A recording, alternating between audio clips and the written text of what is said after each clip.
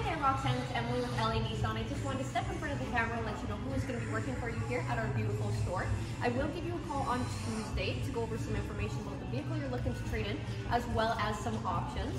I'm looking forward to making something work for you here. Give me a call here at the store, 780-769-0060, and we'll talk to you soon.